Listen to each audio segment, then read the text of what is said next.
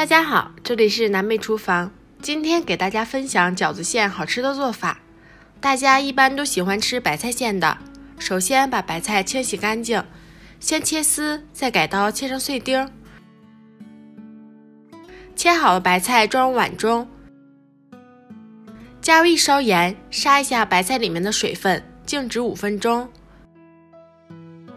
碗中加入一把花椒，用开水把花椒泡一下，泡十分钟。再切适量的葱末和。